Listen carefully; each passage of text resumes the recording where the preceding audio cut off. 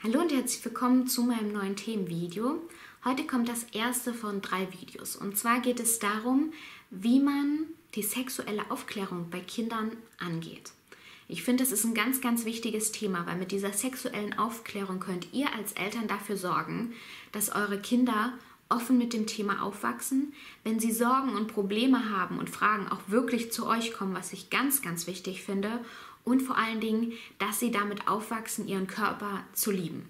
Denn es ist ein ganz, ganz großes Problem in unserer Gesellschaft, dass viele ihren Körper einfach nicht akzeptieren und nicht lieben und das ist ein ganz, ganz großes Problem und das entsteht echt oft in der frühesten Kindheit, weil irgendwo in der sexuellen Aufklärung ein Fehler begangen wurde, weil irgendwann mal was gesagt wurde, ganz völlig unbewusst und das sich für die Kinder so eingeprägt hat, dass sie ein schlechtes Verhältnis zu ihrem eigenen Körper entwickelt haben. Und deswegen möchte ich diese Reihe starten.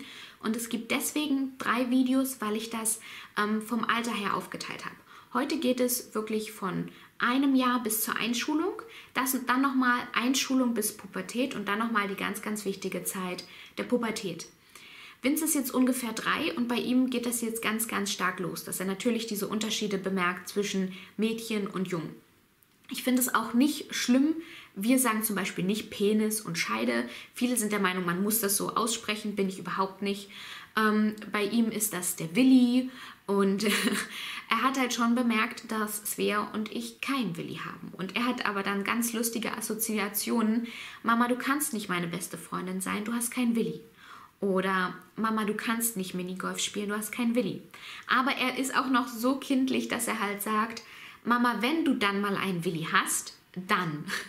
Also, ähm, aber das ist noch süß und das ist auch völlig in Ordnung. Wir haben so ein ganz tolles Buch, ähm, wo es halt um den Körper geht, wo die Unterschiede zwischen Mädchen und Jungen aufgezeigt werden, aber auch zwischen unterschiedlichen Hautfarben oder was verschiedene Kinder gerne mögen oder nicht mögen. Und ähm, das hat er eine ganze Zeit sich sehr, sehr gerne mit uns angeguckt. Und man muss halt immer schauen, wenn man solche Themen bespricht, dass man das nur macht, wenn das Kind damit auf einen zukommt, dass man es dann natürlich auch altersgerecht macht, also dass, dass man das Kind zum einen nicht überfordert, aber eben auch das Kind auch nicht im Unklaren lässt, weil das ist das Allerschlimmste, wenn man der kindlichen Fantasie Raum lässt, dann können die sich sonst was ähm, zusammenreimen, was für uns total unlogisch ist, für sie aber völlig logisch und aber in eine völlig falsche Richtung geht. Mir ist halt bei diesem Thema ganz, ganz wichtig die Offenheit, dass die richtigen Werte vermittelt werden, nämlich dass man sich selbst schätzt, dass man aber auch das Gegenüber zu schätzen weiß und ähm, die richtige, den richtigen Umgang einfach mit Sexualität, mit Liebe, mit Gefühlen, mit den eigenen Gefühlen, aber auch den Gefühlen des anderen. Wichtig ist mir auch die richtige Wortwahl. Also, dass Sex nichts Dreckiges, nichts Schmutziges ist, dass schwul kein Schimpfwort ist, das finde ich ganz, ganz schlimm.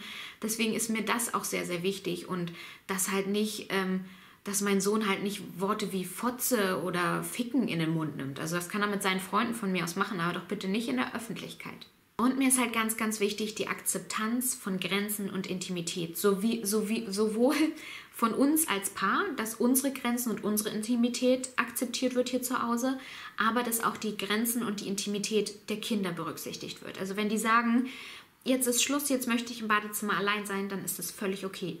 Und wenn die wollen, dass ihre Tür geschlossen bleibt, dann ist das für mich völlig okay. Ich finde es ganz, ganz wichtig als Eltern ab einem bestimmten, bestimmten Punkt, wenn das Kind zeigt, es ist soweit, dass man anklopft, bevor man das Zimmer, das Reich des Kindes betritt. Das sind so Kleinigkeiten, aber ich finde sowas super wichtig. Wenn ich jetzt hier von sexueller Aufklärung spreche, gerade bei Einjährigen, kann das vielleicht auch falsch verstanden werden. Es geht mir aber auch darum, die Kinder auf Sex vorzubereiten oder also und speziell halt, dass sie ihren eigenen Körper halt lieben und akzeptieren. Und wenn man da schon anfängt, den Kindern das zu verbieten, ja, wo kommen wir denn dann hin? Was soll denn den Kindern im Kopf bleiben? Nämlich, ähm, dass sie sich nicht anfassen dürfen, dass das was ekliges ist, was dreckiges ist, was man nicht macht. Ja, das stimmt ja aber überhaupt nicht. Man muss natürlich auch berücksichtigen, dass sich jedes Kind ganz, ganz individuell entwickelt und unter, unterschiedlich schnell entwickelt. Also da gibt es keine Maßnahmen. In diesem Alter musst du deinem Kind das erzählen und dann das. Und wenn es nicht so weit ist, dann entspricht es nicht der Norm. Das ähm, stimmt ja überhaupt nicht. Da muss man wirklich auch auf sein Kind eingehen, wie weit das einfach auch ist. Dieser Umgang mit Sexualität wird halt einfach wirklich von klein auf gelernt. Und das ist mir so wichtig, dass ich das mit diesem Video auch rüberbringen kann. Dass es für die Kinder nichts Sexuelles ist, aber dass es später irgendwann mal wirklich extrem von Bedeutung für sie sein kann, wie man jetzt als Eltern auch mit diesem Thema umgeht. In dieser ersten Phase, die ich quasi eingeteilt habe, ähm, geht es nicht um, um Sex an sich, so wie wir das als Eltern verstehen, sondern es geht um die, um die Körperwahrnehmung, um die Sinneswahrnehmung. Es geht auch um Geschlechterrollen oder was ich schon gesagt habe, wie sich manches anfühlt, wenn ich mich da und dort so anfasse. Es geht aber in einem jungen Alter natürlich auch schon um Schamgefühl und es geht auch um Grenzen. Also ich bin gespannt, wie lange Vince halt noch mit uns baden geht, wann er uns sagt, er möchte das gerne lieber allein machen und dann ist das für mich auch völlig in Ordnung, dann akzeptiere ich das natürlich auch.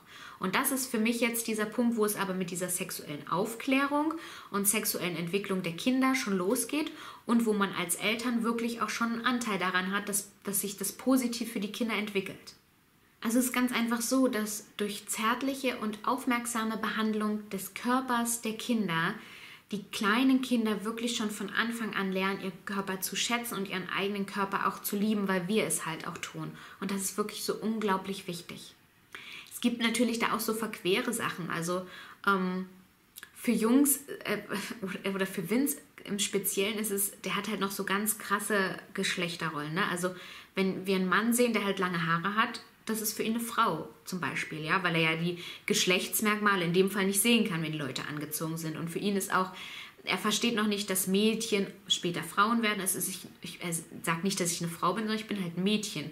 Oder dass er später mal ein Mann ist, wird. Oder dass der Papa ein Mann ist. Das versteht er nicht. Für, für ihn ist das noch, du bist ein Mädchen und du bist ein Junge. Aber das ist auch völlig okay. Das ist das, was ich vorhin gesagt habe. Einfach dieses, ähm, kindgerecht einfach auf das Thema eingehen und schauen, wie weit das Kind auch in seinem Denken ist in dem Thema. Es ist halt wichtig, dass Kinder ihre Grenzen lernen und trotzdem ihren Körper zu schätzen wissen. Und deswegen ähm, finde ich es auch ganz wichtig, wir hatten im Kindergarten letztens erst das, natürlich fangen die jetzt mit Doktorspielchen an. Und was ist so schlimm daran?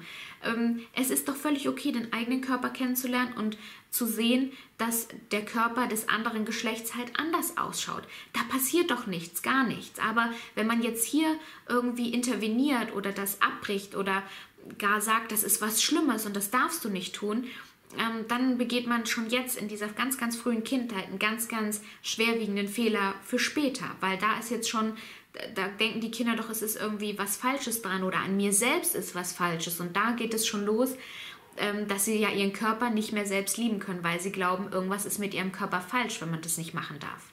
Ich finde, man muss in diesem frühen Alter auch schon auf die Medien achten. Also schon jetzt so ein bisschen gucken, was gucken denn die Kinder? Also bei Vince gibt es wirklich nur Kinderkanal-Sachen oder halt gar kein Fernsehen, sondern entsprechend halt eine DVD eingelegt, die seinem Alter entsprechend ist. Also man muss auch jetzt schon jetzt achten, dass man halt nicht unbedingt Nachrichten oder irgendwas im Beisein der Kinder guckt, weil wie schnell ist da irgendwie mal ein Foto, was für das Alter wirklich nicht geeignet ist. Also schon da sollte man echt aufpassen, was die Kinder, äh, was die Kinder konsumieren an Medien, weil die bekommen schon jetzt so, so, so viel mit. Ich hoffe, dieser erste Teil dieser dreiteiligen Reihe hat euch gefallen, hat euch so ein bisschen gezeigt, was ich mit diesen Videos vermitteln möchte. Wie gesagt, im zweiten Video geht es dann um die Altersgruppe von der Einschulung bis zur Pubertät, was auch nochmal super entscheidend ist.